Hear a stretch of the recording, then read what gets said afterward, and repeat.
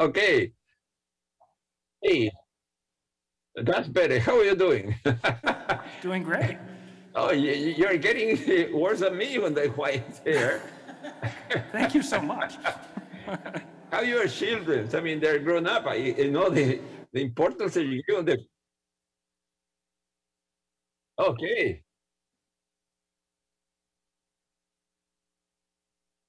Yeah.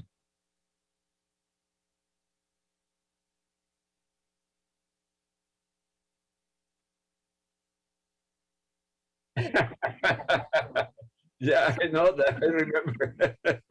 I-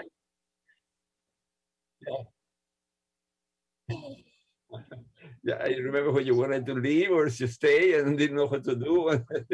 I'm so glad you stay there. I know you and see your people grow. And uh, how's your wife doing? Uh, Great, great, great.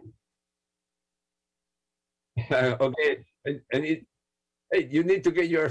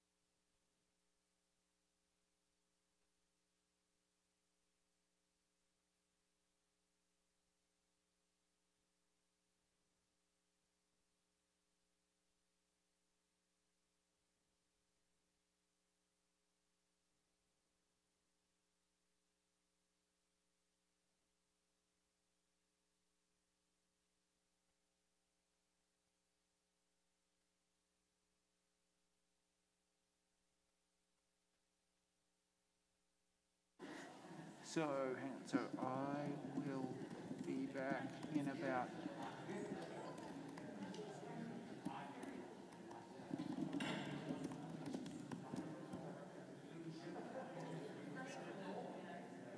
in about 20 minutes, I In about 20 minutes.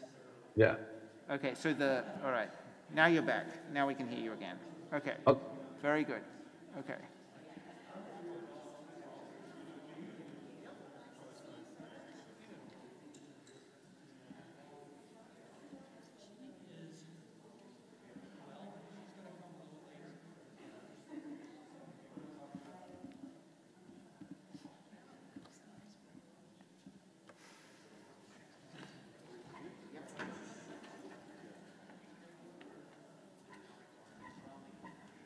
Let's see, you can hear me? Great. Well, thank you everyone for making it to the Edwards Accelerator Lab uh, 50th birthday party. So I'm Zach Meisel, I'm the current uh, director of the Ed- Edwards Accelerator Lab. As you can see, we have many current and past members of the lab and people in the lab's orbit here, and really looking forward to, to this event. Uh, to welcome us, we first have the Executive Vice President and Provost, Elizabeth Sayrs. So please.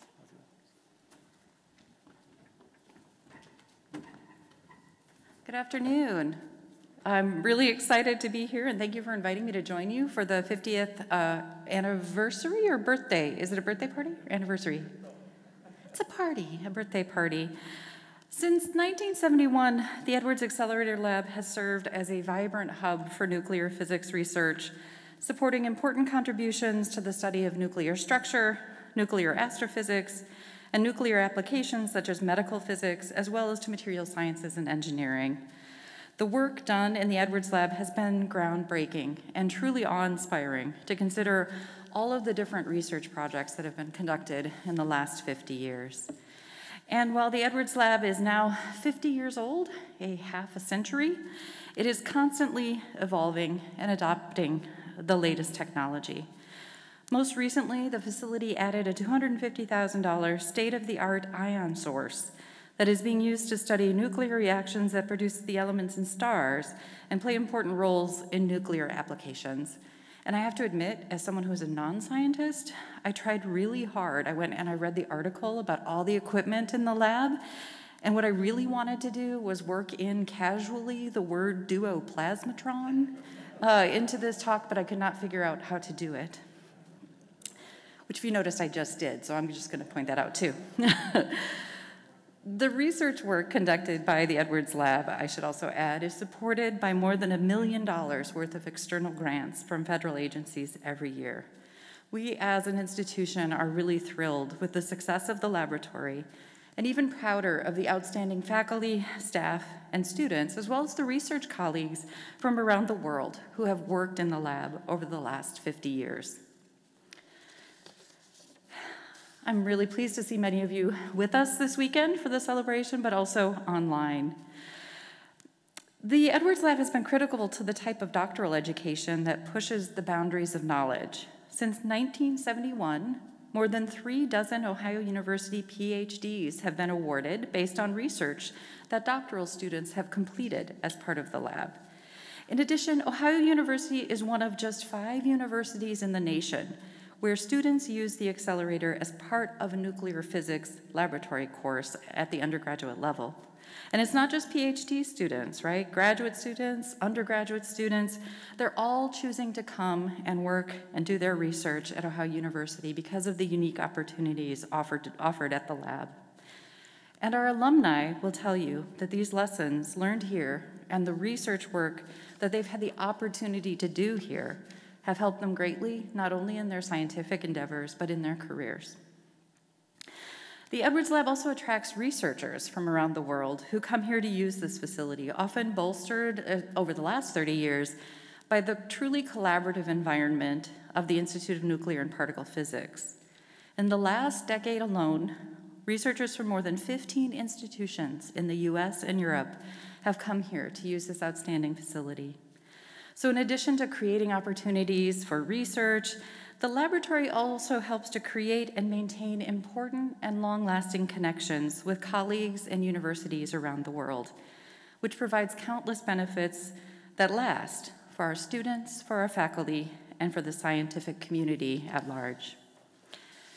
I want to close by acknowledging the outstanding work of our faculty and staff who support and run the Edwards Accelerator Laboratory.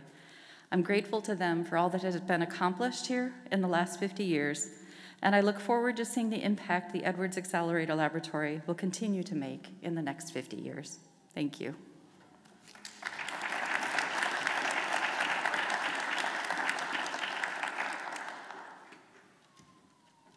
Thank you very much, Provost Sayrs, for those very nice remarks. Uh, to further welcome us, we have the Dean of the College of Arts and Sciences, Florenz uh, Plassmann. Thank you, Dean Plassmann.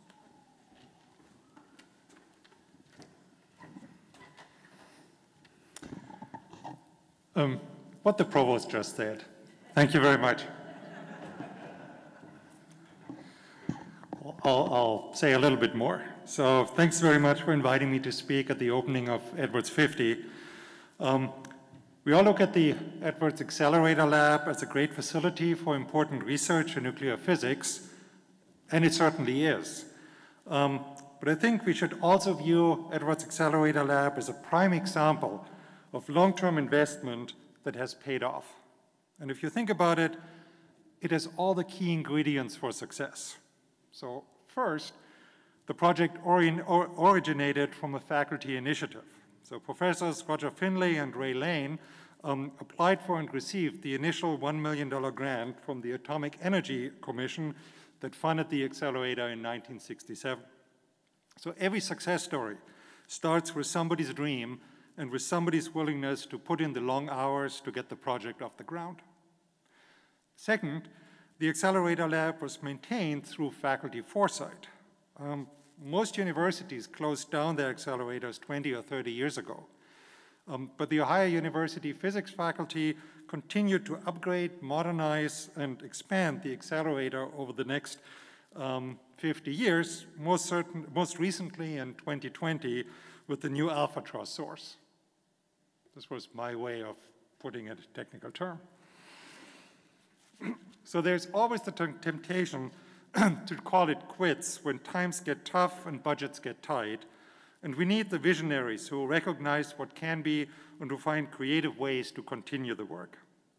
At this point, the Edwards Accelerator Lab is clearly one of the key laboratories for neutron beams, evidenced by the fact that researchers from all over the United States and from Europe travel to Athens to undertake their projects here. Third, Ohio University has recognized the importance of the Accelerator Lab and provided extensive support over the years. Yes, it's true, the Department of Energy and NSF funded the accelerator and many of the upgrades, but over the years, Ohio University has provided substantial internal funds as well. Um, the university helped constructing the time of flight tunnel in 1980 and expanded uh, the uh, building in 1994.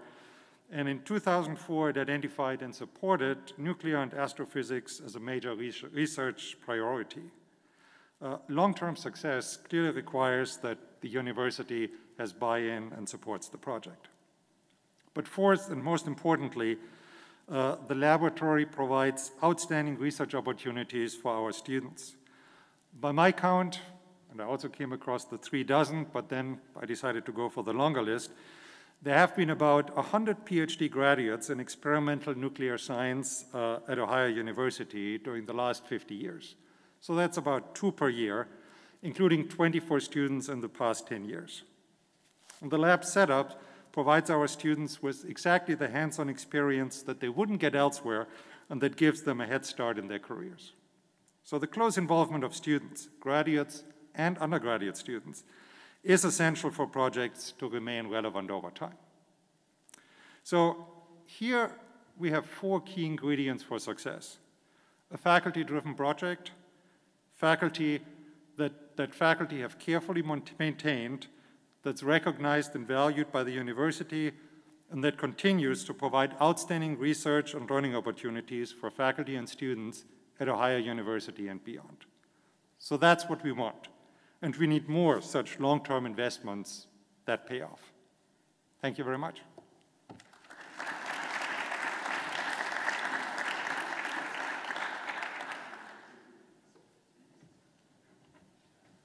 Thank you very much. I couldn't agree more with that, so very much appreciated. So now we have some, uh, we move on to remarks from um, people from the Edwards Accelerator Past, some key figures that Florenz mentioned. So we have some remarks from Chuck Brient. Please take it away, Chuck.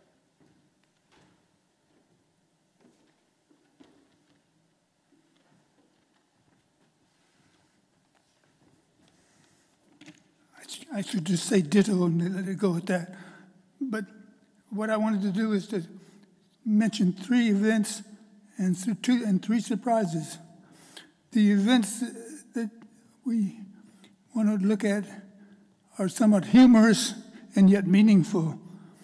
And the ones that I, in particular, want to start out with a description of the neutron lab, which was sitting on the corner over here next to the circle uh, of driver decisions. This was a project of Roger Finlay, in which, whom we wish was here to celebrate with us. The uh, event that he mentioned was, in fact, that an administrator had come to the laboratory to see what was going on in this laboratory. And was standing behind the the brick wall, and Roger was running the machine so he could actually see what was happening. He stood close to the wall, stuck his hand, himself around the wall, folded his arms, and said, I don't see them. the invisible neutrons. The next event which I would uh, mention is the liftoff of the Cessna two engine plane from the University Airport, which was commanded by President Vernon Alden. And he was on his way, in fact, to Washington, D.C., and he had taken with him four of the faculty, I believe, maybe it was Dick Koschel and Jerry Adams, I'm not sure. There was some discussion about whether we- could take somebody without a, an an American citizenship, but I think that got set aside. The uh, plane lifted off about where Kroger or Walmart are and was headed for the Washington, D.C. to tell the people at the AEC. We thought it should be NEC, of course, but they told them, we were, President Alden was telling them that he was ready to support the nuclear program and the building of the accelerator project. And he assured them that that's what he wanted. Well, that $1 million, which we proposed, was funded, and so we did exactly what we wanted. The next event that I recall was where we were called by the trucker who was hauling a tandem vessel, a burnt orange tandem vessel around Athens. He could not find the laboratory because it was at the dead end of Race Street, and he didn't know where it was. So we had to chase him down to get him to bring the vessel to the lab. And the picture you saw when you signed up for this event was the picture of uh, this burnt orange tank sitting on the steps on the entry to the laboratory. Then we had three surprises. The surprises were the thing would not go through the door to the vault. We couldn't get it through the door because the, the top flange was taller than the ceiling above it. And above it was a four foot bit of high density concrete. Well, we had Dave Sturbois, who knew the local people and was able to come up with a name for somebody with a jackhammer who could go through and chip a four foot section of channel so we could roll the uh, tank into the vault. So the vault. The next surprise came when we realized that we could not shine the laser up through the tandem and and had to find a place to put the laser which would allow us to leave it in one place as, as a steady tool to align the beam. And when we finally realized that we, the only steady place was the wall, which was at 90 degrees to the beam. And we couldn't figure out exactly what to do, except we knew we had to change the direction of the laser beam by 90 degrees. So we used a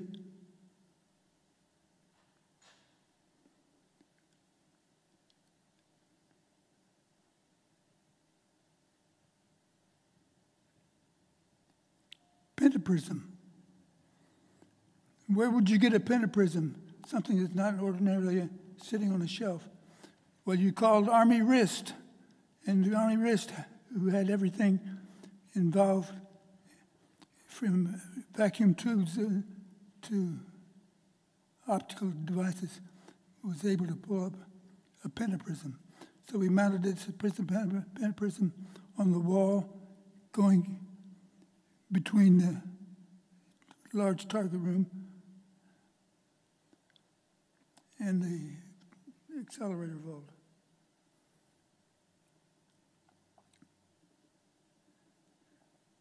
What we wanted to do was, of course, be able to produce time of flight spectra. And I believe it was one of Steve Grimes' students, Narayan, who was demonstrating that the flight path from the target, from the swinger magnet to the end of the tunnel was 30 meters. And he was taking a spectrum from 3 meters to 30 meters. And we were amazed to see how this spectrum came about to look like a charged particle spectrum. Very, very dramatic. The reason, of course, was because we had Don Carter, who could use, provide the technology for timing the beam. So the, point to be made was this was a accelerator which was to be high intensity. And in order to be a high intensity accelerator, we had to produce large beams in the, in the big target room.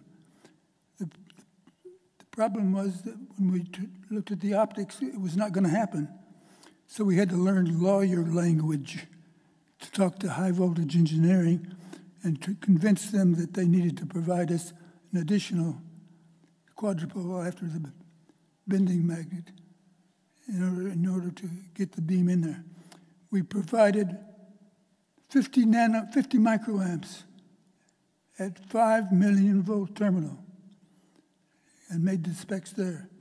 We provided 100 microamps at 4.5 MV terminal. And so began the long and colorful things that you're about to hear from our friend Jack Rapaport and others. Jack, we miss you and Irma. Thank you.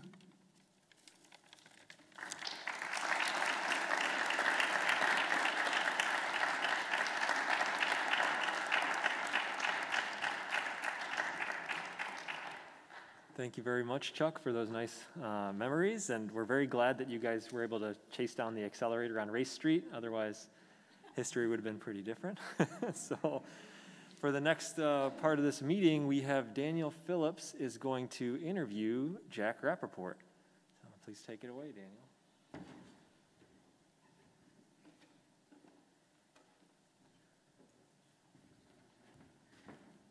Good afternoon. Well, it's an honor and a pleasure to be uh, here at the celebration of 50 years of the Edwards Accelerator Lab. Uh, um, my day job is as a professor in the Department of Physics and Astronomy, but today I'm going to moonlight as an interviewer.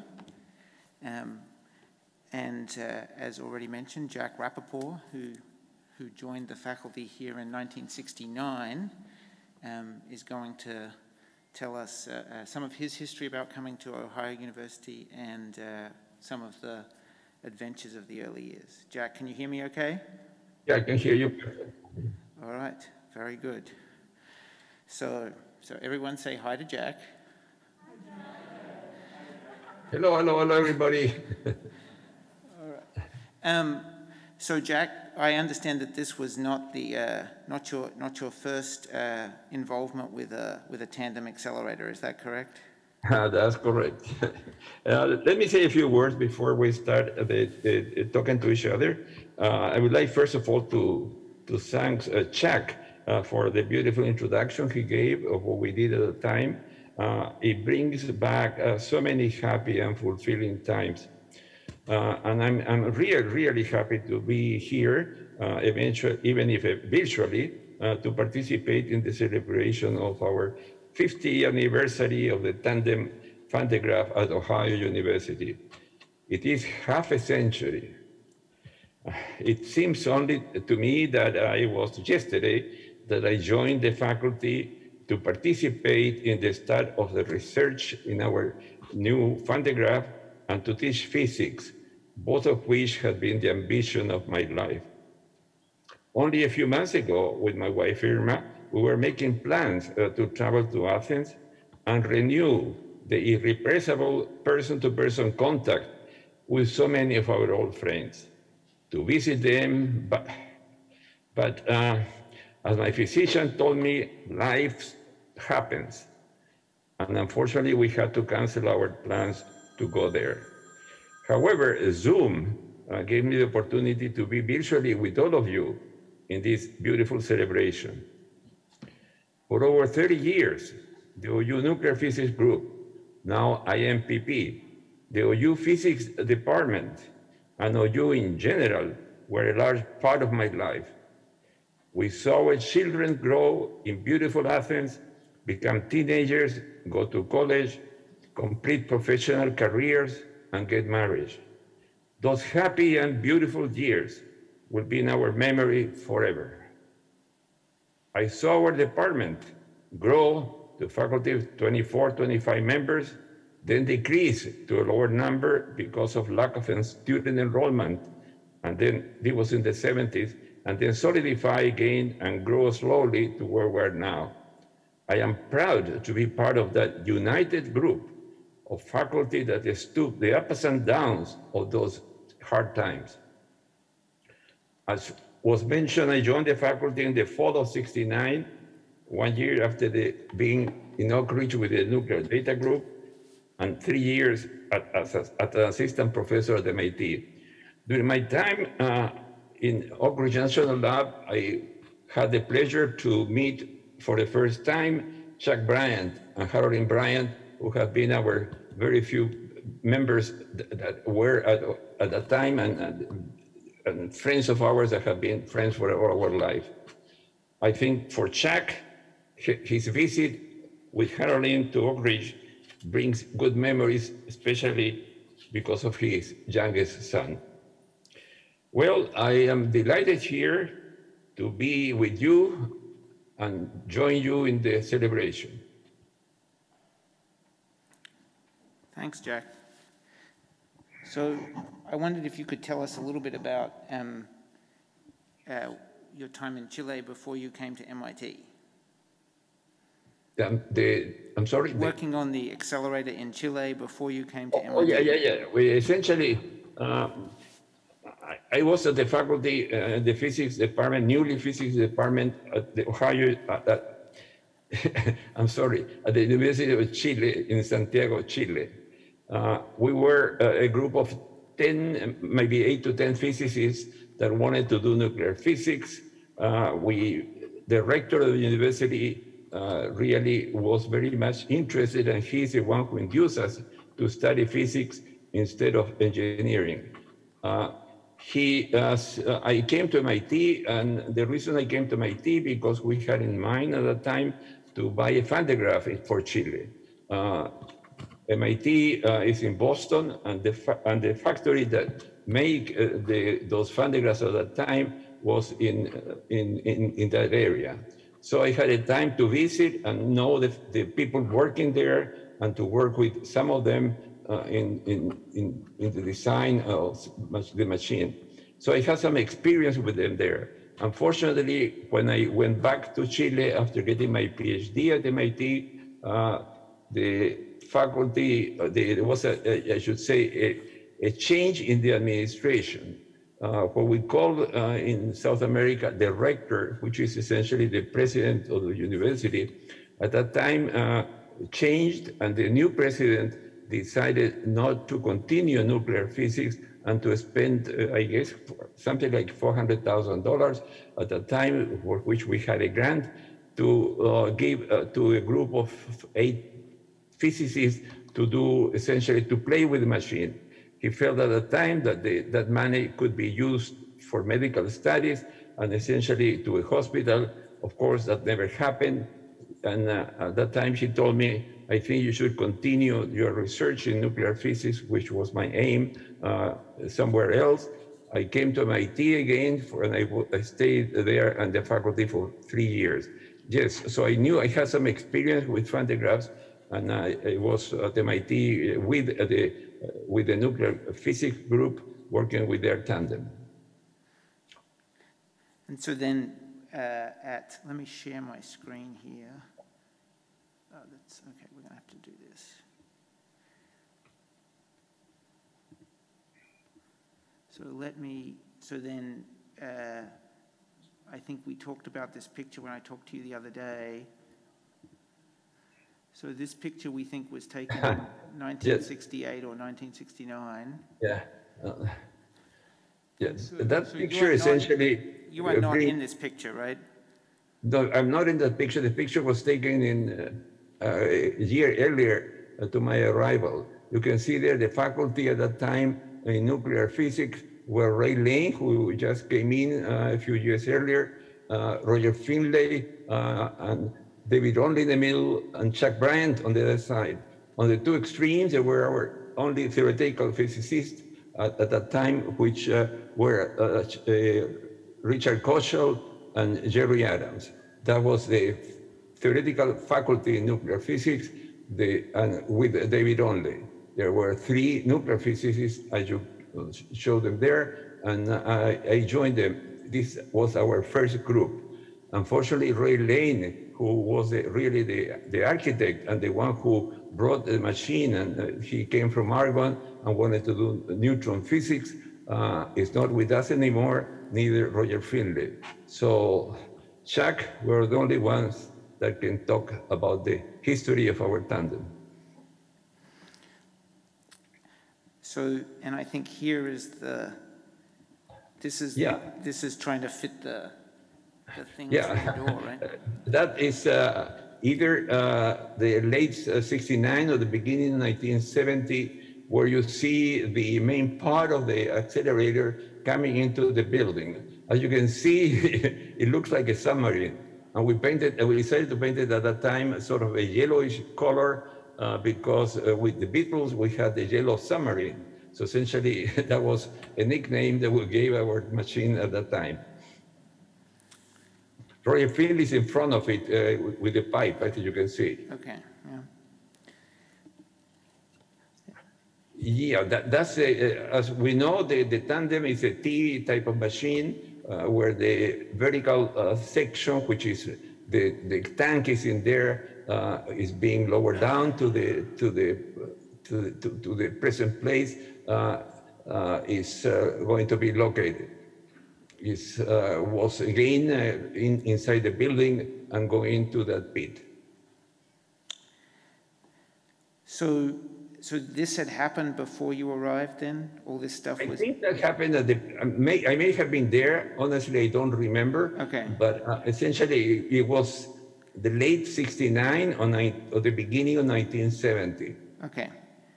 And you had been sort of recruited from Oak Ridge to come and contribute to the Yeah, I have, uh, exactly. I arrived there in the September 69. Okay. So, actually, we will do that one later. So, so then, so I- you told me when we talked the other day that, uh, that there was some difficulties, which I think Chuck also alluded to, to getting the machine up to the design specs, right? So you had, tr- it, you, you couldn't operate it at the full voltage because of issues with Uh. arcing in the gas? It, it took some time uh, to get the final spec. The machine is supposed to be 5.5 uh, MeV and uh, tandem. So essentially, we could have reached theoretically 11 MeV. Uh, unfortunately, the machine, uh, which is uh, with the gas, uh, pressurized gas of uh, SF6, I guess, yeah, and uh, it needed really to be real pure gas so that it didn't break.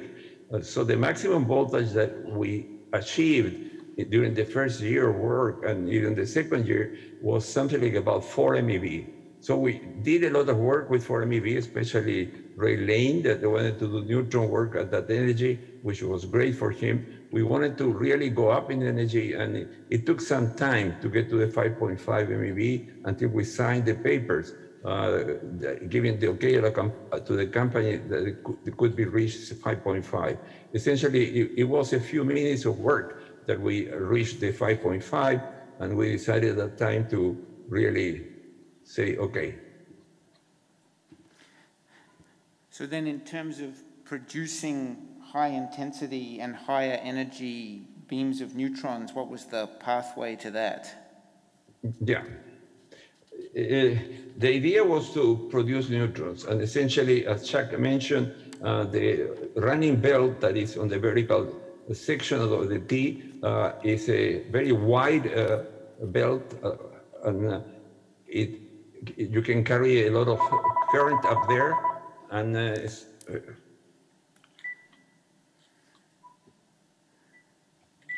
you can carry a lot of current up there because we wanted a high intensity proton beam to really uh, produce neutrons. Neutrons, as we know, is a secondary particle.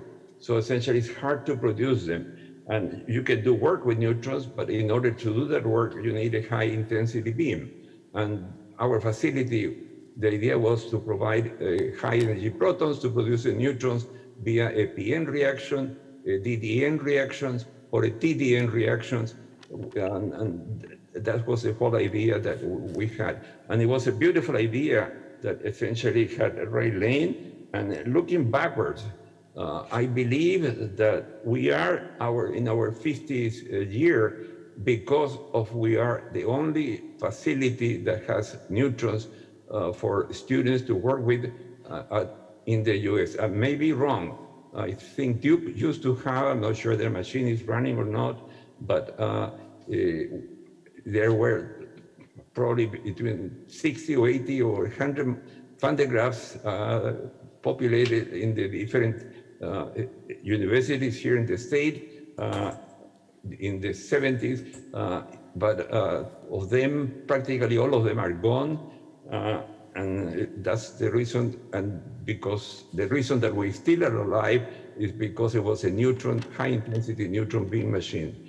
I, I, should say that the, the, the, of all the machines, this is a unique type of machine and I understand only one more was built uh, by Van de Graaff people, uh, and the other one went to Athens, Greece. And I never visited that place, but we had uh, friends of ours uh, that doing nuclear physics work uh, that visited our place, and they were from that place in Greece, in Athens.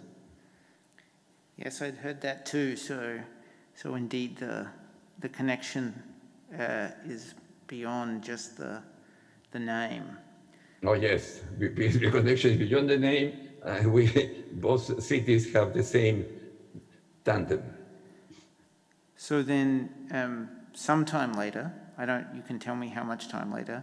Uh, you you became a distinguished professor, and you were telling me that you were proud of this photograph. You want to explain your uh, why you think this photograph is unique among distinguished professor photographs? yes. Uh, essentially, when I got the honor to be on a, a oh, sorry, uh, they was in the in the 90s or 80, 80 don't recall the exact date, but uh, when I was I had the honor to be named uh, this uh, distinguished professor, uh, they decided to take my picture to be in that hallway uh, where I do my work. I do my work without a tie in the way you see me there, uh, you see near the swinger, that, uh, another machine that we, uh, another device, I should say, that uh, came from Michigan State University. And at the tunnel, at the end of the tunnel, we had an array of neutrons. Those were liquid detectors to, to look at neutrons. And uh, we could move that, uh, that, that, rail between a few meters up to 26 meters on the tunnel. And that picture brings a lot of memory, as I said, because uh, I decided not to wear a tie because I always very sort of uh, informal uh, doing my work and with my, especially with my students. So I went and checked after our conversation. So there is one other physics distinguished professor who does not have a tie on in his distinguished professor. You, okay. So yeah, so you're no longer unique in that regard. But okay, at that time I was the only one. but you are, I think you are essentially the only one who was where the picture was taken in front of their experimental apparatus. So yeah, yeah. Uh, so I so I know you had a lot of fun working with students over the years. And yes. And so here is this picture. I'm going to try. Hang on, just excuse me a minute. I'm going to get rid of this little window thingy here. Okay. Get. I said go over here. There we go. Okay, that'll be better. All right. So do you want to tell me what's going on in this picture? Yeah, this picture essentially, uh, as you can see, the, uh, Weber, which the student is asking us, he did his work on the, on the triple uh, magnet there. Uh, he's asking us for a letter of recommendation. So uh, uh, I guess Finlay had the idea of for us sitting there. You can see Finlay looking at the picture on my left, myself on the middle, and and you can see Steve, uh, yeah. Steve is I think it's, uh, I don't. It's, it's Grimes on the, on the other, on the, on the right. And the, the student, whoever is trying to ask you, please write a letter recommendation. And so we use the idea of having three monkeys uh, on the machine there. We don't hear, we don't talk, and we don't uh, see. So do you see our, our hands covering ears, covering mouths, and covering eyes. Do you know, the thing I find most impressive is that you all climbed up there. So, Yeah. I mean, I- yeah, I would not do that, but, but I appreciate the commitment to getting a good photograph. Yeah, I, I wish I could climb up there. Yeah. as I was at the time. Unfortunately, I don't think I can. I can do it this time. Yeah. yeah. Uh, So then, I guess my last question is, can you tell us what the, what, what the greatest challenge you guys faced was in the, in the, let's say, the early years? Uh, I'm sure we can call it for challenges. Uh, essentially, I, I'm not sure if I can really. Everything that we tried to do uh, was accomplished. Uh, more, I, remember more uh, our good time. Uh, I remember uh, getting to OU in '69, and if you recall, people may maybe younger than that. Uh, in May uh, 1970, there was the Kent State shootings. And essentially, uh, that same year, uh, the, the accelerator at uh, Wisconsin University was really uh, attempted to be put on fire by students. So uh, for two nights, we decided to guard. I'm talking about 1970 to guard our building. So we, we, my, my office was just facing the corner of the, of the lab at that time. And essentially I stayed in my office all night long, uh, making sure that there was no, no group of students coming to do any damage in our building.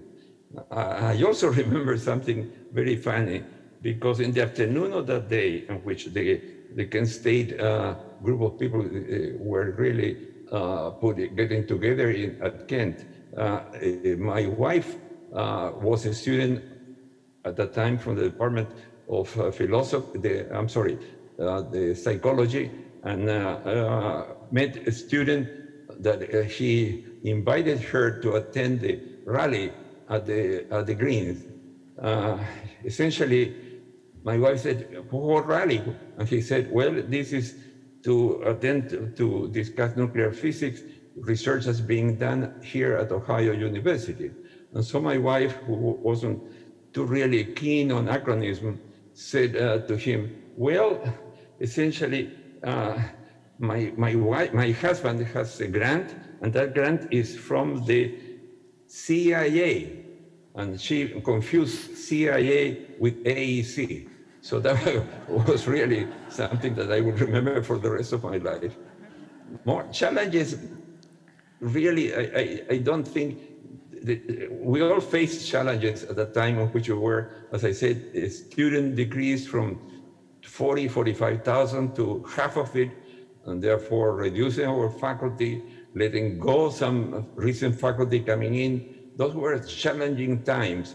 And as I said before, essentially, I'm really proud to be of that group of uh, faculty members that united, decided uh, to do things and let it really reduce our salary if that was necessary, but not reduce too many of our members in the faculty. Yeah, I think the, the, even when I arrived in 2000, the, the stories of the solidarity shown by the physics department at that time was, were still very prominent on campus, and it was a, it was a good group to join. So on a personal note, I want to say that when I interviewed here in 1999, I remember you taking me down to show me the accelerator, Yeah. and you were very gentle. Like you, I really did not understand what was going on, but you were you uh, you you. you, you- went to and I'm sure you knew I didn't didn't. get so- that either. when I went to your first lecture, I didn't get that much either, honestly. and okay, so yes, um, but I will say also that uh, I talked to uh, a senior theorist who was a who, who you know who I knew, and he said, "Oh, you're going to Ohio, so Rapaport is there." He's like, "You should learn everything you can from him before he retires." Yeah. So, so I was I was glad that our paths crossed, albeit briefly. Okay. So does so we have time for let's see maybe one or two questions. So does anyone have a question they want me to relay to Jack? No. No. No. Okay. So, Jack, what I'm going to do is leave you up here so you can hear David Onley, who is the next to speak. Um, and then after that, I believe there's a coffee break. Is that right? Yep. Okay. So then during the coffee break, we can hand the computer around and you can talk to people. Okay. Very good. All right. Thank you very much, Jack. Thank you.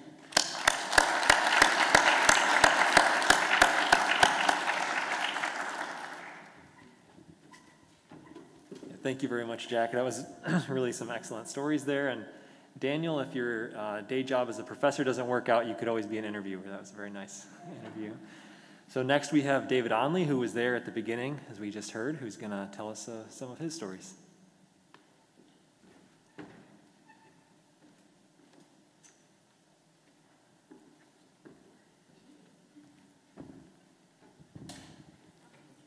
Oh, sure. No problem.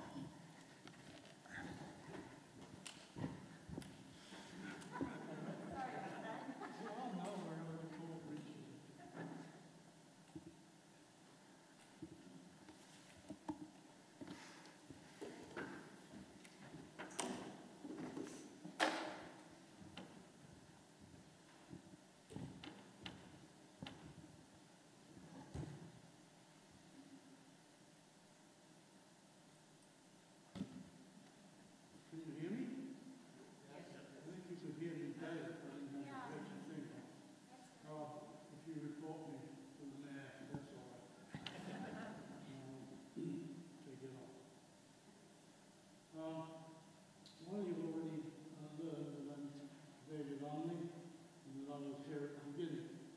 Uh, and uh, I'm still here. Which is nice. My bad, I forgot to turn it on. I don't know how anybody can hear me at Uh, now you can hear me? Oh, thank you. Uh, because, um, all right, I'm, as you have already learned, a theoretical physicist, a theoretical nuclear physicist, uh, so I can take uh, no credit for the excellent work that's been done on this machine. Um,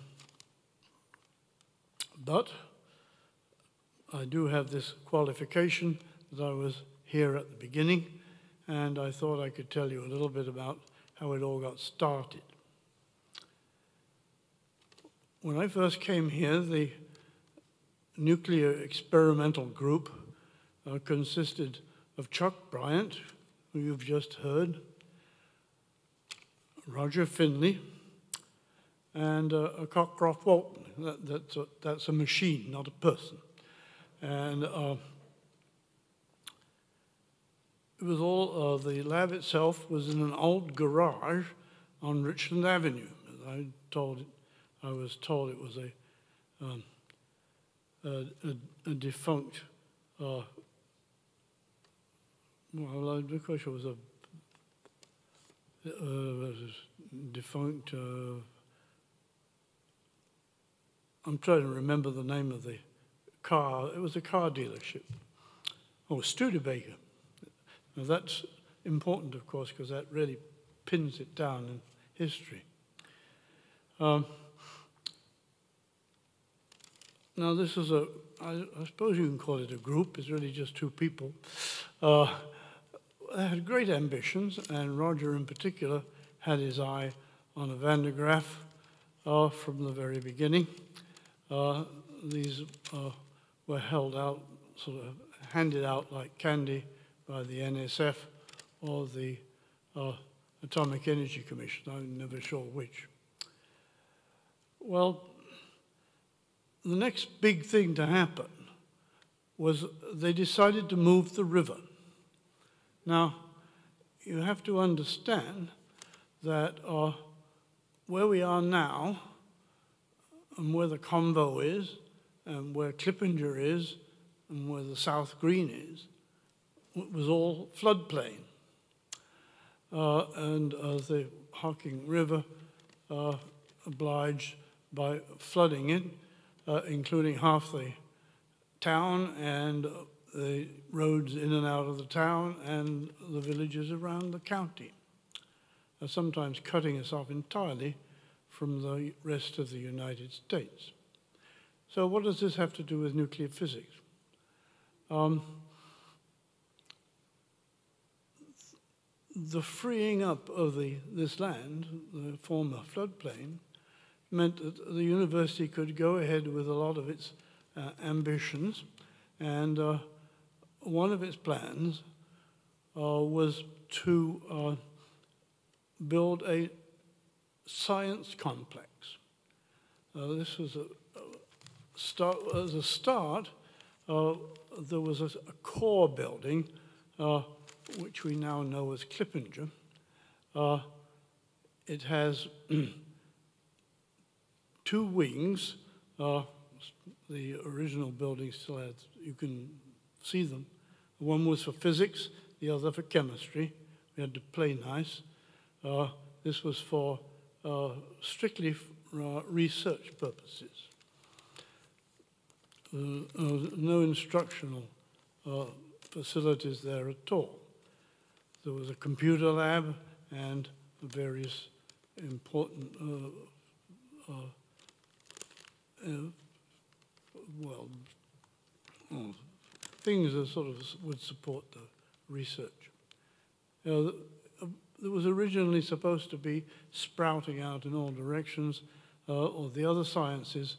Uh, uh, that, of course, didn't happen. Well,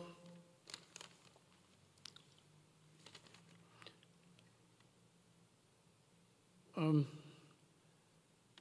of course, where was the accelerator to go? Well, Roger Finlay was way ahead of us on that. Uh, he already had a site picked out in the hillside, which where it now is. Uh, and you'll notice is um, actually quite a, fit, a, few feet higher than the rest of the plane. Uh, so uh, conceivably, we could escape being flooded at least for the first few years uh, before the uh, move, moving of the river was complete. So that uh, um,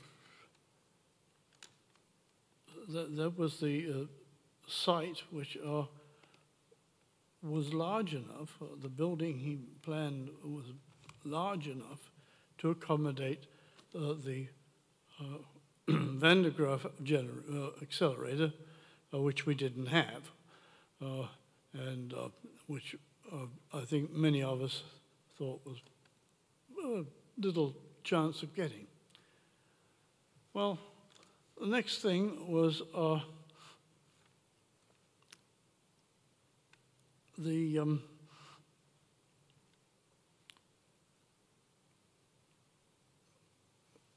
oh yes, Ray Lane. We hired Ray Lane. Ray Lane was a seasoned experimenter uh, from a national lab. He uh, uh, had connections and ideas. Uh, Roger Finlay uh, was, of course, excited to bring him in. Uh, but in the months before he came here, he called Roger and said, Why don't we go uh, for this new small tandem Van de Graaff, which the, I think it's a High Voltage Corporation, uh, was going to build. Uh, this was an excellent idea, would be would put us out in front and uh, in any case, uh, thrilled Roger, who went down to the building site, which uh, was already well underway, and uh, had to persuade the uh, well, first of all, to find out whether or not this machine, for which he had the plans, would actually fit in the building. It did, just about. It was a tight fit. And uh, then uh, he had to accommodate uh, the uh, third leg. The uh, tandem uh, accelerator has this third leg, which houses the charging belt. That um, in the fancier uh, uh, uh, accelerators, it's often put into a tower, which is kind of show off. But we didn't have any space for that, but we could accommodate it by putting it in a pit. Now, the uh, floor had not yet been poured, uh, but it was due to be next, I think, following week. Uh, so uh, Roger had to convince them uh, uh, to leave a patch, you know, yay by so, uh, uh, without pouring anything, so we could dig a pit there. How he managed to persuade them to do that, I don't know, because of my experience with contractors, especially uh, with state buildings, is that they won't even won't change this item. But Roger was very persuasive, and he got it done. So there we were. Uh, our building was due to uh, receive uh, this accelerator, which, uh, as I said, wasn't even built and which we'd never even ordered. Uh, but building went ahead with a, a few minor hiccups. You've heard some of them already from uh, Chuck Brient. Uh, he didn't mention that the roof fell in. Uh, there were, uh, this is the uh, roof over the experimental uh, area, which is uh, for shielding purposes. It made of high density concrete and fairly thick. Was way more than the form which was they were pouring it on could stand, and the whole thing collapsed uh, onto the floor. It was a terrible mess, of course.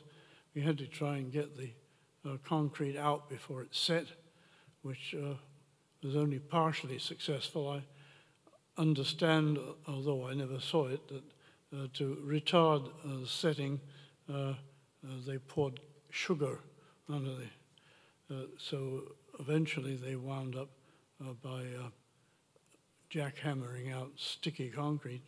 But they managed, and uh, they were. Building uh, continued apace. Of course, uh,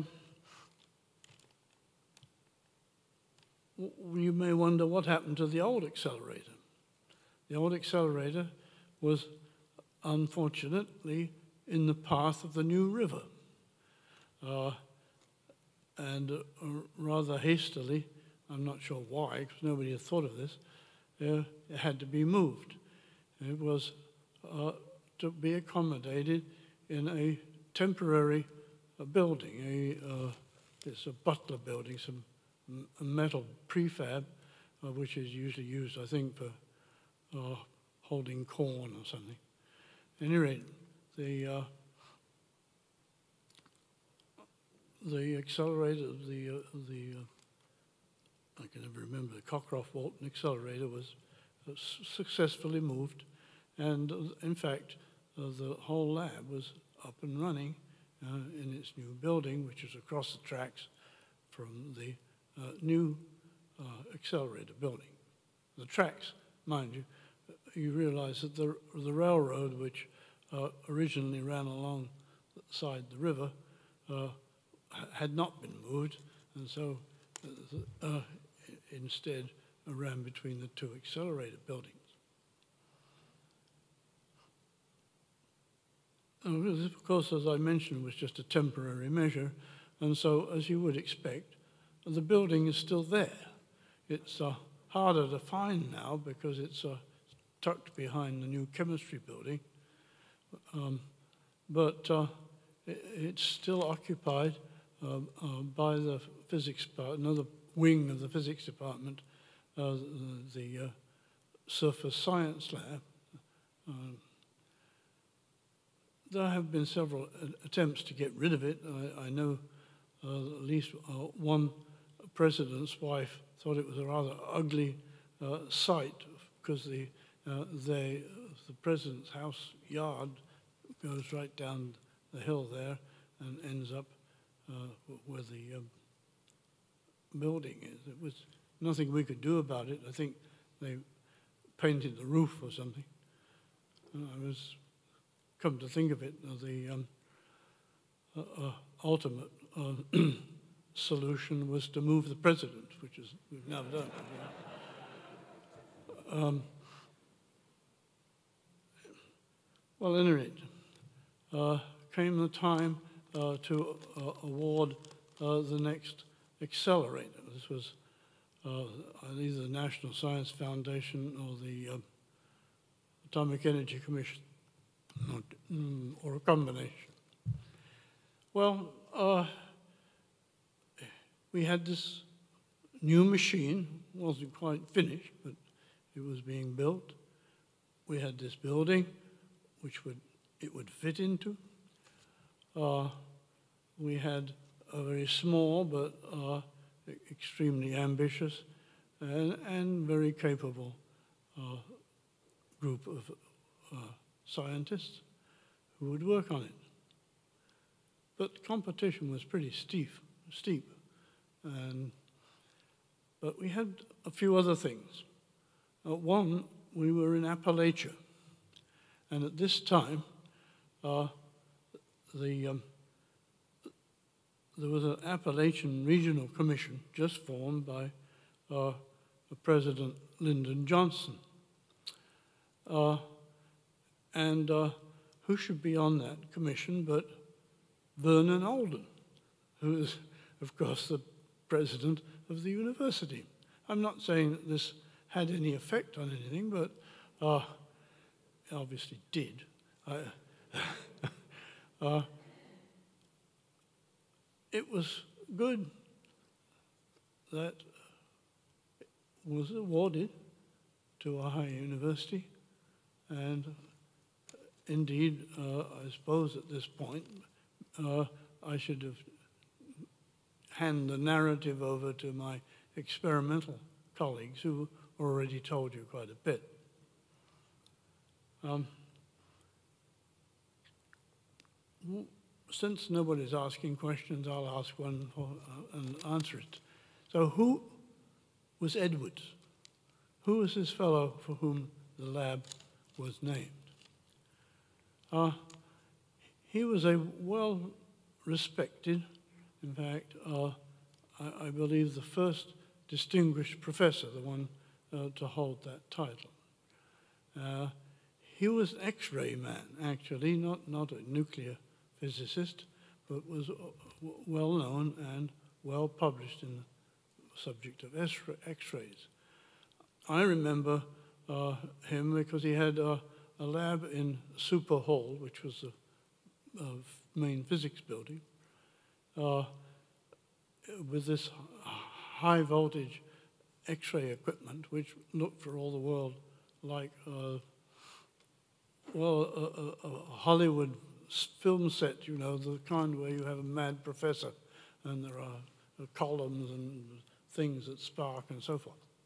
I never actually saw it spark, but it, it was pretty uh, pretty alarming. In fact, you, you, couldn't possibly be there when the uh, X-rays machine was running. And in fact, uh, John Edwards would sit outside in the hall uh, with a timer and a notebook and um, was happy to talk to anyone passing, uh, which is how I first really got to know him. I might also mention uh, that he was a master of the physics demonstration lecture, which is one of those things we all have to learn, and uh, I learned a lot from him. That's all I have to say to you, and I hope you enjoy your coffee.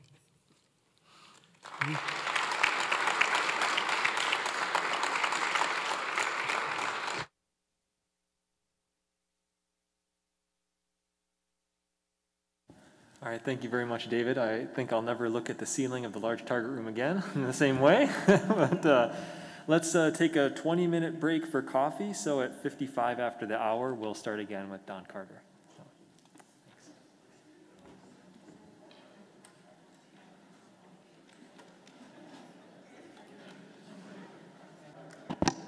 Okay, very good. Okay, everyone, I uh, hope you enjoyed your uh, coffee and snacks. So if you could please be seated again, we'll, we'll uh, resume the festivities here. So our next speaker, I am very pleased to introduce. Uh, Don Carter has been a key figure in the Accelerator Lab really over the long history, and he continues to be an indispensable member of the lab. So he'll tell us some of his memories uh, at the Accelerator Lab.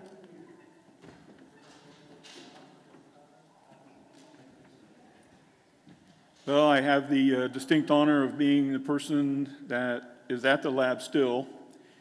And in 1969, I was at the lab installing the wires for the accelerator. Uh, kind of a coincidence or a fluke chance that I ever was exposed to the laboratory. Uh, turned out that uh, when I was in eighth grade in high school, I was playing football, and my coach was Bob Young, who at the time I didn't know. He was uh, employed by the physics department as an electronics technician. Um, and at our sports banquet, as I recall, we were standing around, and he was uh, going to impress his uh, players with some parts that he pulled out of his pocket, which happened to be transistors and diodes, which at that time were very new, not really popular in the consumer market, but I was an electronics enthusiast, so I had read popular electronics and some books at the library. And he asked if anybody knew what those were, and I knew what they were. I knew that transistors had three legs and the diodes had two, and he seemed to think that was uh, unusual. And we kind of became friends, and uh, for the next four years, he loaned me some books, and I read them. Uh, to learn more about electronics. And then finally, when I graduated in 1969, that was the year the accelerator was being installed, they needed some labor type people to come down to help with the high voltage engineering uh, technicians that were installing the machine. And the people at the lab at that time was Doug Ruth, Don Wagaman, uh, Bob Young, and so we, I went to work early in the summer uh, as a student, or not really, well, I was going to be going to OU, so we worked putting the uh, cables into the wireway that uh, High Voltage had assembled in Burlington, Massachusetts, because they had laid all these cables out measured them for our facility. And then after they tested the machine, they put them all in boxes and they sent them to Ohio University so that they would be ready to install. So they needed people to help take all these cables, bundles of cables. I remember being, seeing stacks of them, and it took us weeks uh, to just route those in the conduits and get them uh, to where they go. So we did that, and then at the end of that job, we had to terminate or actually connect all those wires to the different stations that they would, would connect to. So that was the summer employment. And then once I started at school, um,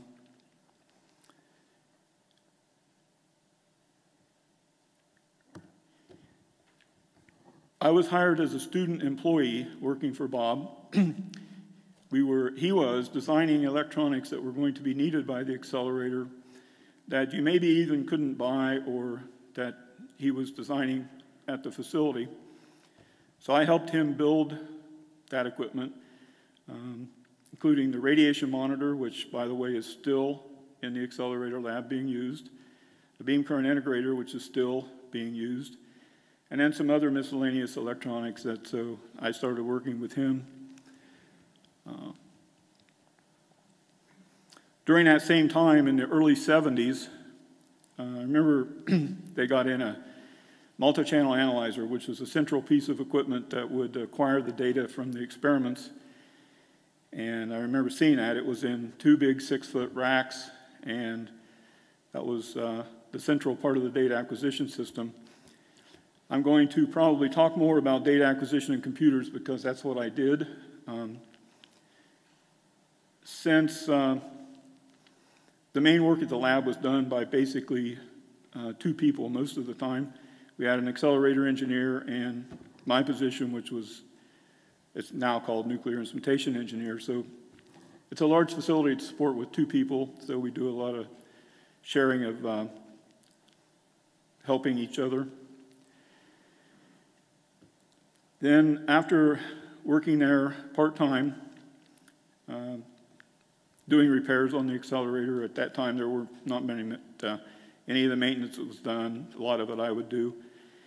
Uh, Dr. John Cox, which is a PhD student of Dr. Lane, was hired to install an IBM 1800 computer system that became available from Clippinger, where they used it to map or track, uh, I think it was bubble chamber tracks, and digitize them for analysis.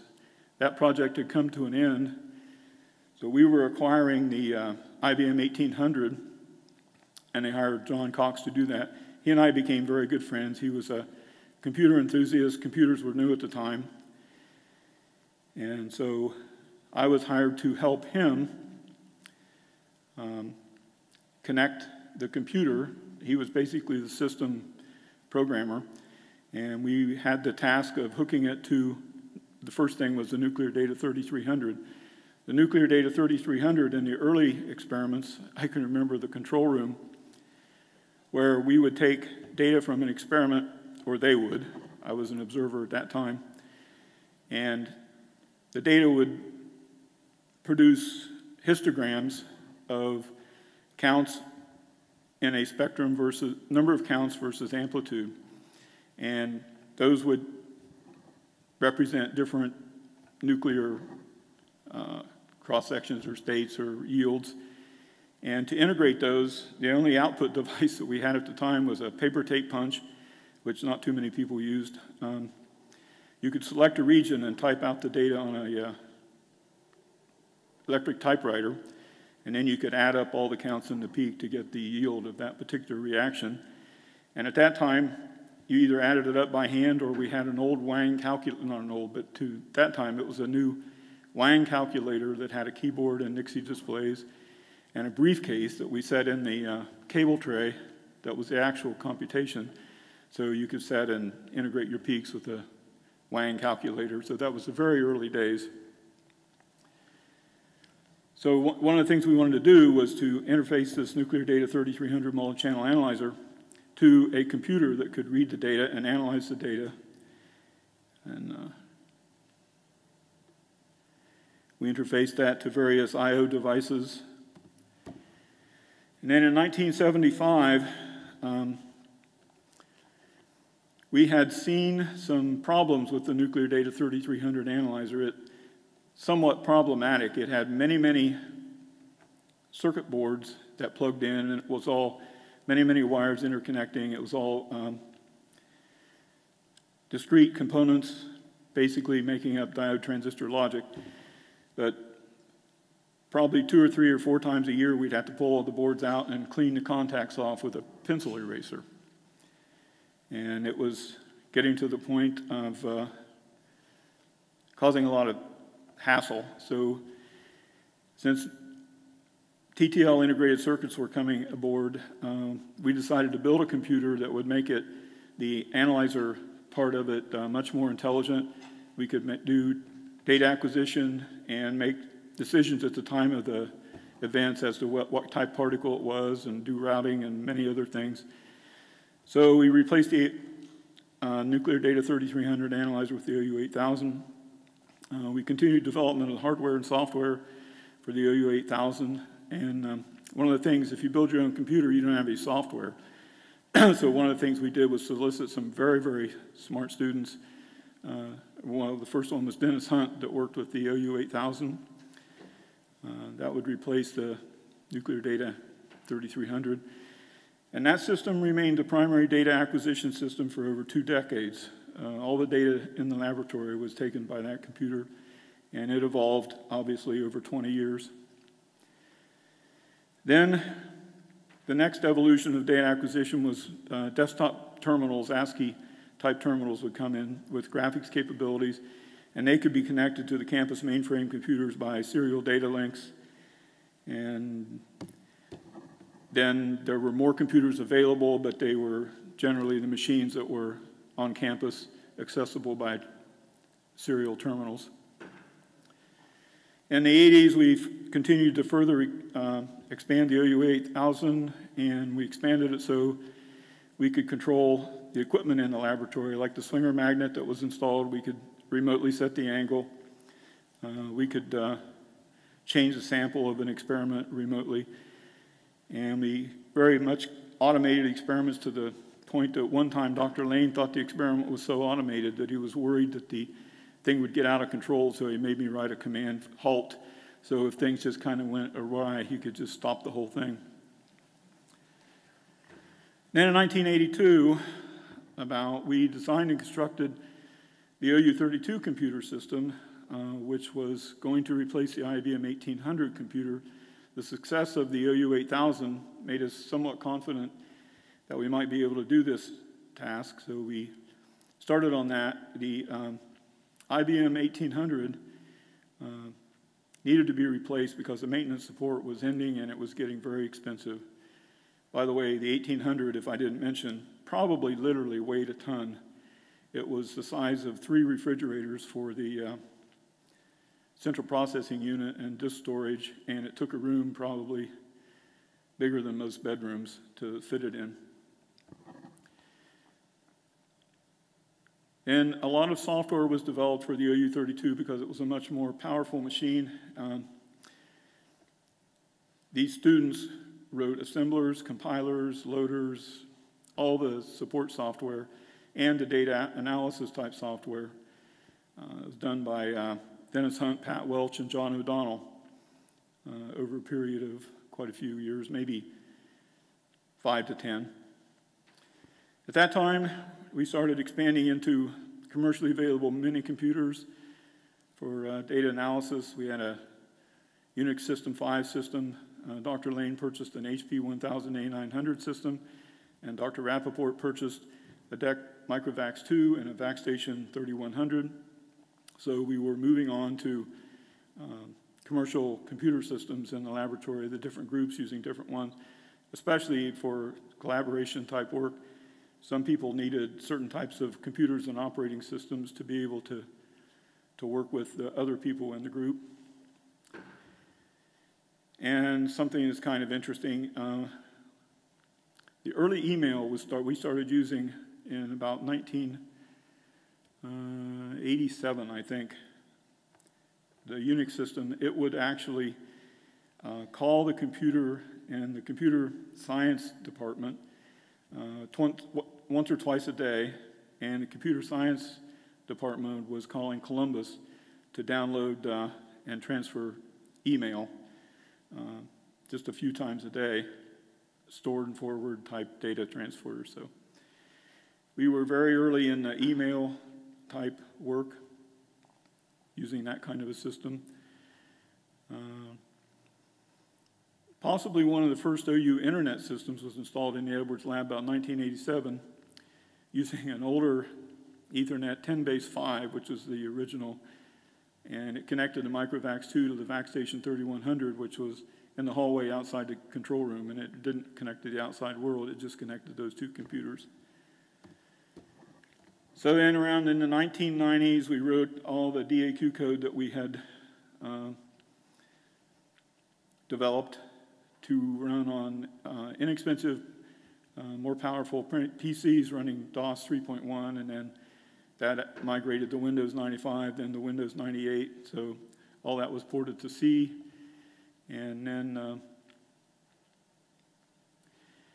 what this allowed us to do prior to this, since we only had one data acquisition system, um, most of the time, every experiment that was run had to be built and then torn down so that the next group could then build their experiment into the data acquisition system with different front-end hardware and different analysis routines. So that was pretty time-consuming uh, to do that every time. So with the PCs, we were able to um, set up multiple systems configured to that particular experimental area, and they could be left in place. So that saved us a lot of time, a lot of setup uh, in getting an experiment going. And in 94, the building was expanded, include new office and laboratory space with terminal access. Uh, that was a, a, big space, needed space for the laboratory. Uh, we started seeing more collaboration experiments with other institutions, outside users such as Lawrence Livermore and Los Alamos. 2000, uh, we began again migrating the uh, data acquisition code to Linux. Uh, that was because uh, after uh, Windows 2000, at Windows 2000, Microsoft did not make available the tools and they didn't make it easy to interface to the operating system, uh, to the hardware, outside hardware. So we moved off to Linux, which was becoming very popular.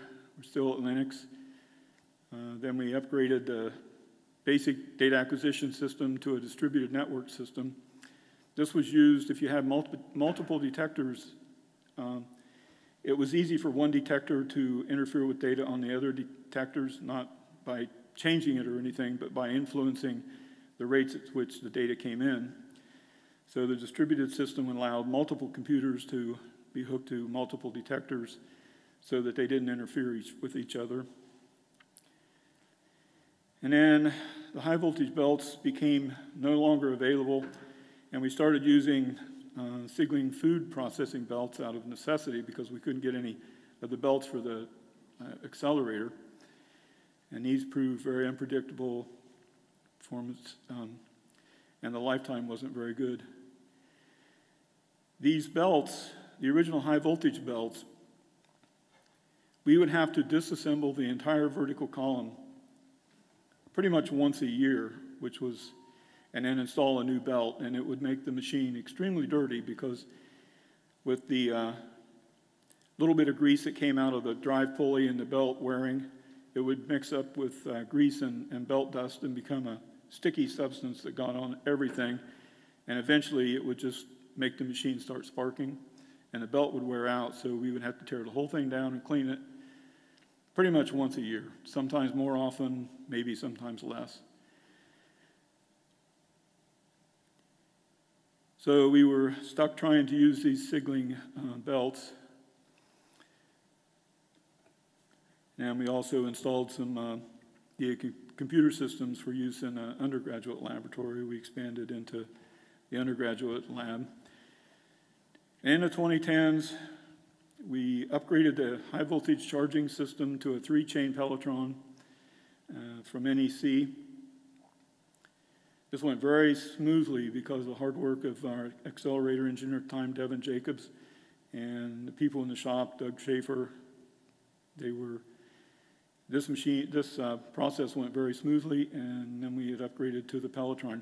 The Pelletron had been considered a couple of times before to eliminate the belts, but as mentioned before in previous talks, our machine was a high, um, high intensity machine, so we needed a lot of uh, current that went up the column to keep the machine stable.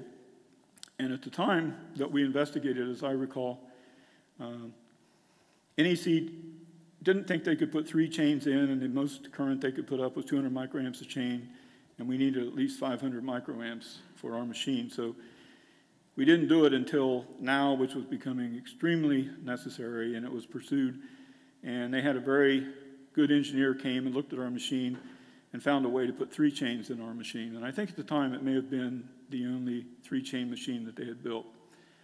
That greatly improved the reliability, greatly improved the stability of the machine uh, no longer dirty. In fact, you can go in.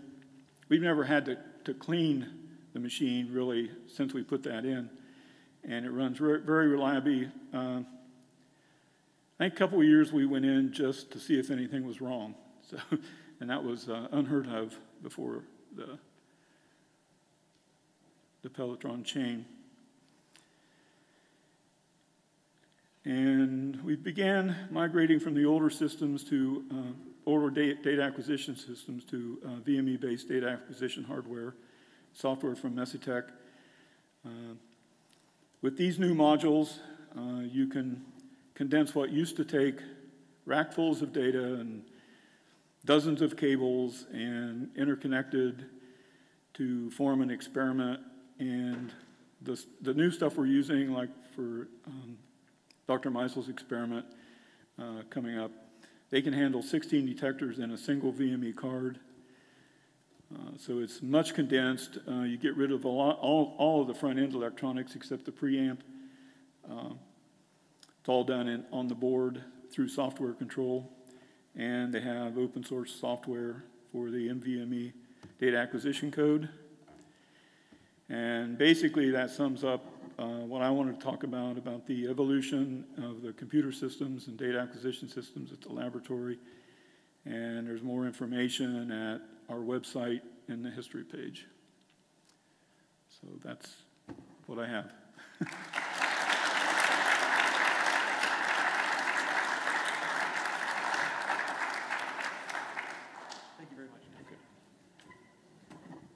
Thank you very much, Don, for sharing that, uh, that lab history. Um, I mean, I think it's clear that without your contributions, the lab would definitely not be uh, what it is today. Uh, so our next speaker is a distinguished uh, PhD from Ohio University. It is Ed, uh, Dr. Ed Sadowski. Maybe Daniel can handle the computer.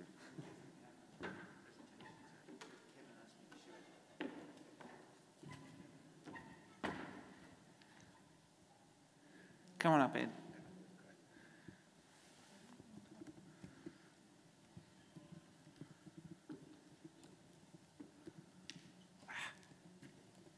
I'm just going to try and put the logo behind you. We can do this. I'm glad you didn't leave it up to me. Never would have. How's that, Kevin? Okay. Thanks, Zach. Um, I might dispute the distinguished part uh, of that introduction.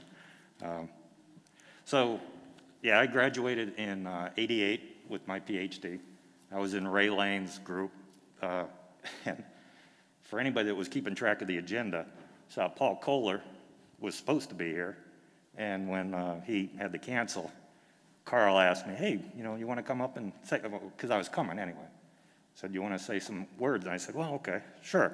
We're always picking up Los Alamos anyway, you know, when they.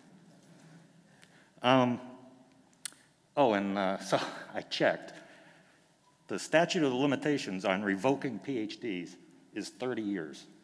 So whatever I say here today, you can't take away my PhD. Um, and so what I want to talk about, it's going to be a little different than what you've heard so far. It's more about the skills that I learned here from these folks and how they have done well for me in, uh, in my career. I'm currently a uh, division director at Savannah River National Lab, and uh, a lot of what I learned here, not, not necessarily the nuclear physics part, but the other skills, leadership, teamwork, and a couple other life skills. So let me start with the, the theorists um, Professor Onley was my uh, advisor when I was an undergrad here. And uh, after taking two years of chemistry, he said, okay, you got to decide if you're going to be a chemist or a physicist, because the next piece is physical chemistry. And uh, so I said, no, I want to be a physicist. But the thing where life kind of wrapped around is about 30 well, about half of the people in my division now are chemists. So that two years of chemistry is, is really serving me well now. So to the students, it's, well, right now you're doing your research, you got your head down, and that's everything. Be aware of the other stuff that you learn that may be helpful in the future. So don't, don't shut, don't be so focused that you miss all the other opportunities.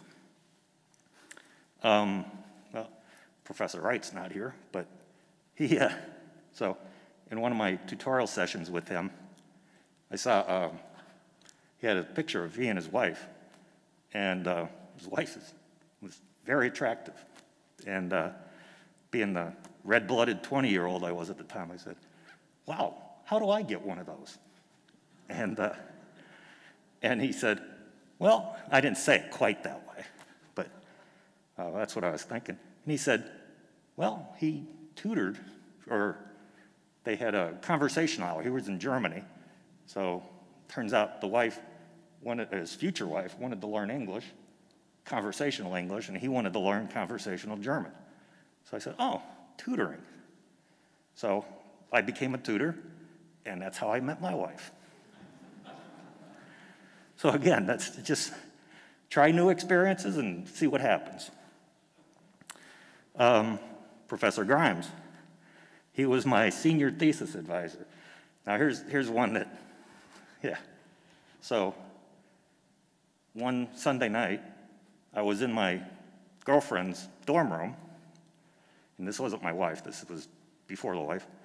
Um, and, know, well, we're, we're talking, and uh, the phone rings, and uh, Professor Grimes says, Oh, are you coming in for your experiment now? And I said, Oh, okay. So jumped up and went into the lab, and uh, that part was so the lesson there is make sure you go to group meetings and make sure you pay attention at group meetings, especially schedule items. Uh, let's see. Oh, Dave Sturbois. So there's two things that I learned from Dave. And in the nuclear industry, this first one's really important, is uh, safety. So one day, he's showing me how to light the ion source. And he says, I'll never forget, he says, okay, look, when this thing's running, it's at 80,000 volts. So anytime you touch anything on this, make sure you use that grounding rod first. Don't stick your finger on it first. I said, yep, okay. And that told me that in our business, it's not just radiation safety. You know, that's obviously a big thing. But there's a lot of other stuff out there that can kill you. And so follow the safety rules. And then the other one was uh, back when we would go in tanks and clean up old belts pieces. Uh, my first tank entry, I went in with Dave, and he said, and once he figured out, ooh, this guy knows how, you know, which end of a wrench to use, he said, okay, from now on, you organize the grad students when we have a tank entry. Don't do the work, show them how to do it, and get them in there and get them out. So, okay. So uh, that was my, one of my first lessons in leadership and organization. Plus, Dave, Dave was just a hoot to work with. Um, so Don, Don Carter, um, what, what Don taught me was, you know, you, you heard all this stuff about the, with the various computers. And that was, I, I said, oh, okay, so if you don't have a tool, go make it. Because that, you know, like all my data came on the 8000. So, and it worked great, and it was homemade. And besides, the guy's just brilliant. Um, all right. Uh, so he's next to are a little bit hard because over the last 18 months, I lost the two biggest um, influences in my adult life. Um, Ray Lane, and um, the biggest thing he taught me was uh, there, there are a lot of grad students that thought he was a jerk or, or, or he was tough, and he was. But um, if, if you could convince him, what, okay, what was your experiment going to be? What were you going to spend two weeks on the accelerator doing? And it was worthwhile, it was going to add to the level of knowledge of nuclear physics, then he would go, he would go through hell for you to get that beam time. Um, so uh, I use that now. I, I make my folks uh, convince me of what they're doing is worthwhile, and then I will, I will fight for them. And I learned that from Ray many times. Um, and, and the other thing was uh, when we went off, I guess it was the 1800, I didn't even remember that, so thanks, Don, that what, you heard tapes. This was just like in the old movies, you know, all the magnetic tape going around. My first experiment was the first one that was run without using those tapes as backup data storage. We just relied on the, the primary acquisition system. And so it was in a, like a lab meeting. Ray told me, said, now make sure you tell people that, that that's, because that's a big deal here at the lab. And so what I learned from that was, don't, don't, as a boss, don't take credit for everything your people do. Give them a chance to shine and say, hey, and take ownership and say, hey, I know this is a big deal, and here's why. and, then, and here's the part now about um, revocation of my degree. So, uh, uh, my wife was Susie. So about, yeah, that's Jason's mom. That's my son Jason there. Oh, which, by the way, before I get to Susie, um, the reason he's here is when he was four and five years old, uh, I used to pour liquid nitrogen on his sneakers while he was in them. that and, and uh, dust bunnies going on the floor in the control room. Uh, yeah, he loved that. And then also um, squashing pennies under the shield door. Uh, Steve tells me now we don't do that anymore. so, um, so, but with uh, Susie, and this is the part from the tutoring and being open to different experiences. Um, so, yeah, our, our first kiss was on the hill, about at about the 20 meter mark of the time of flight tunnel underneath. Not, not in the tunnel, we were on the hill above it. Um, and then one time, one Saturday night, a rare Saturday night, with no experiment going, uh, we, we kind of made out in the control room. I mean, she wanted to see it, and then, you know, one thing led to another. So, uh, anyway, like I said, remember, 30 years on that. Um, so, Zach, I'll give you back a little bit of time.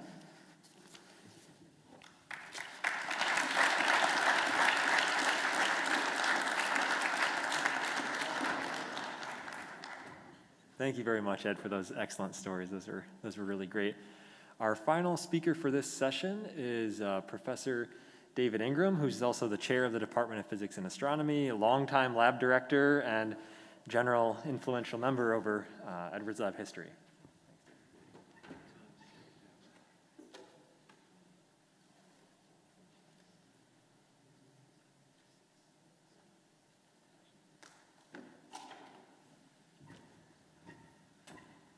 Well, on behalf of the uh, Department of Physics and Astronomy, welcome. Um, as Zach said, I'm the chair of the department, but I was also the lab director for 20 years.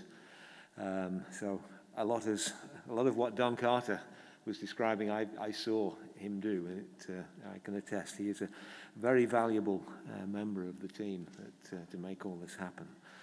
And I want to thank Bob Young in particular for bringing him to us. I didn't know that, uh, that, that part of the story, but uh, Bob was, again, one of the leading people who brought uh, many things to the, uh, the uh, Accelerator Lab, and I really appreciate uh, what, what you did, Bob. So I came here in 1989. Um, I was part of a plan that uh, Lewis Wright had put together in his usual fashion of uh, making sure he got two faculty instead of just one when, the, when, the, when there was possible funding available. And I was part of uh, a, a, team that uh, uh, was originally known as Condensed Matter and Surface Science and now has uh, morphed into NQPI, the Nano Scale and Quantum Phenomenon Institute that Eric Stinaff leads at the moment. And uh, I think that's, that's been a, a success. But um, why did they hire me? Well, the idea was that low energy nuclear physics was coming to an end in 1989. Um, they'd done it all, everything was known. Wrong. Um, I, I, did bring material science analysis, uh, materials analysis, materials modification to the lab. That was part of my job, uh, was to help other faculty uh, to use the accelerator, and I still do that today. I work with engineering faculty. Um, I'm working with people at the moment on uh, uh, photovoltaic materials that um, uh, incorporate uh, rare earth elements. Um, I'm working with uh, another faculty from uh, electrical engineering on uh, looking at how radiation damage affects uh, electronic components. Um, the technique that I use is a, an accelerator-based technique for analyzing materials that uh, was used back in the 1970s and 80s by people using accelerators similar to ours to develop new electronic materials. Uh, people at Intel and uh, Siemens and IBM and uh, those that develop uh, new uh, processes today still use this technique called Rutherford backscattering to uh, develop these new uh, metallizations and so on. And again, I'm working with a faculty member at the moment. She is uh, uh, developing, in, in the chemistry department, she's developing some more organic electronic materials, and I'm working with her on those. So, material science did come to the accelerator lab, but nuclear physics never went away. What happened was, and there's a rather peculiar coincidence in all this, uh, in the early 90s, um, the Keck Foundation, who had funded many telescopes at that point, were looking for other things to fund.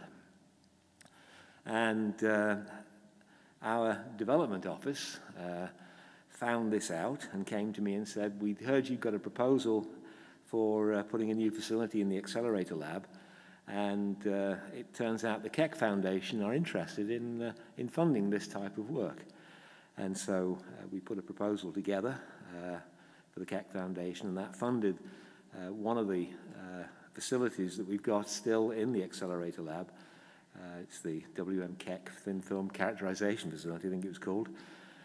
And that uh, became a key feature for getting other monies and so on in there for doing more material science work. But of course, the offshoot of all this is that the Keck Foundation funded all those telescopes, and guess what? Those telescopes produced lots of data. And those lots of data then became big questions for the nuclear physics community to help solve. And so we have people like Zach Meisel and Carl Brune and others working on solving those, those problems today and providing an awful lot of the time that the accelerator is used for. So although you know, I'd been told uh, that uh, the future was in material science with this accelerator, it wasn't. So as a lab director, I was faced with having to learn a lot more about, about nuclear physics than I ever thought I was going to have to do. Um, we did bring in a lot of outside users to the uh, uh facility, as you heard in, in Don Carter's talk, um, because for a number of years, uh, these accelerators uh, had been running in the 1970s and 80s, but the key to our accelerator was the insight that uh, uh, Roger Finlay, in particular, and also Ray Lane had in the not the energy of the accelerator itself. The energy range is a good range, but it's the intensity. How much beam current can you deliver? And that was really the key to the survival of this accelerator because it could outperform many other accelerators.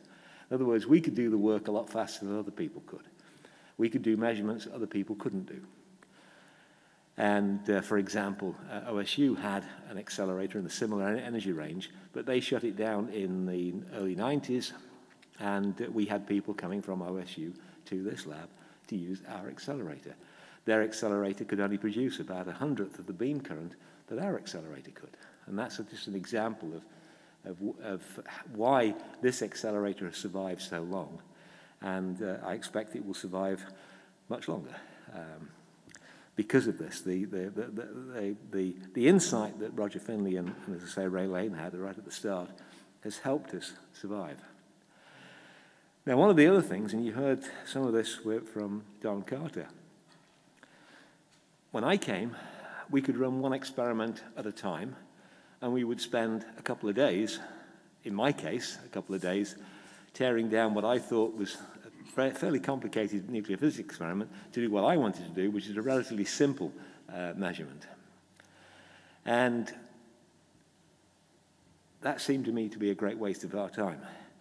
And so I was looking around constantly, and with the help of other people, we found ways to get not only uh, the computers to the point where we could dedicate computers to individual experiments, but also that we had enough of the uh, digital high, uh, or the high-speed electronics that we needed, uh, NIM modules to those who know about these things.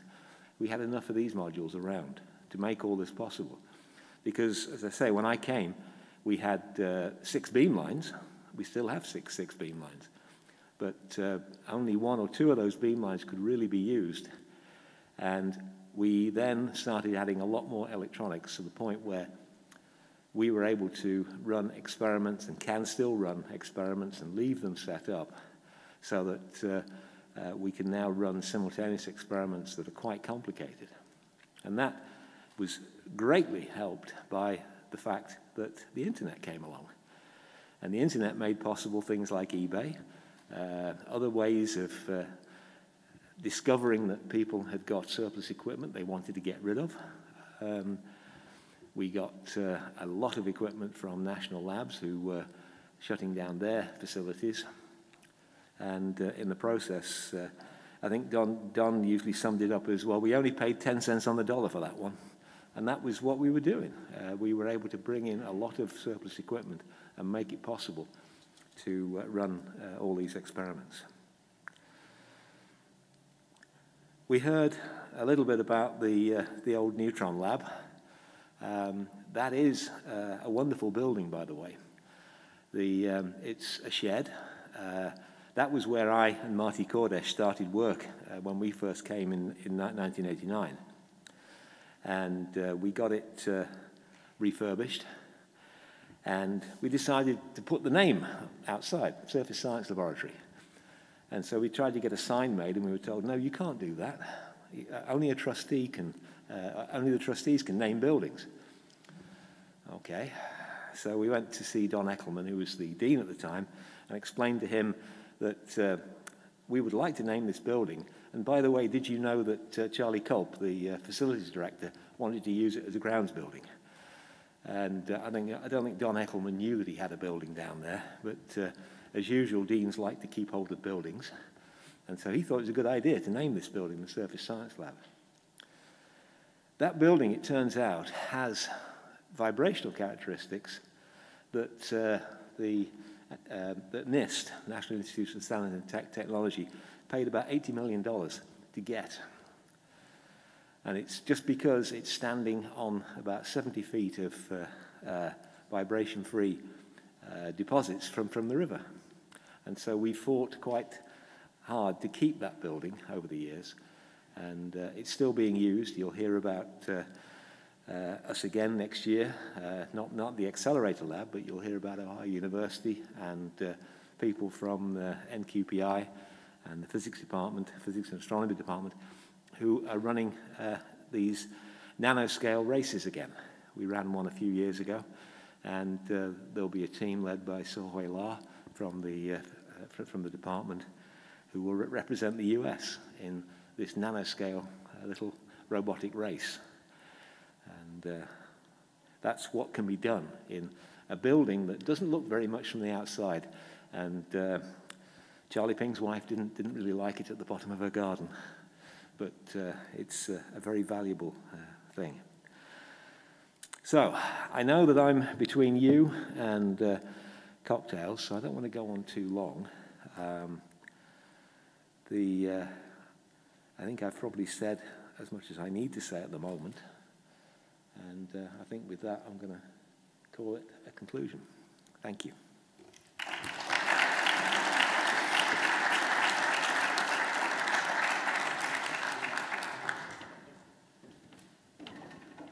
All right, thank you very much, David, and thank you to all the, the speakers of uh, this, this session today. I just want to thank all of them again, if we can give them a hand. So uh, now cocktail hour begins. It's, it's going to be back there. There's a little bar set up where we had the coffee break area.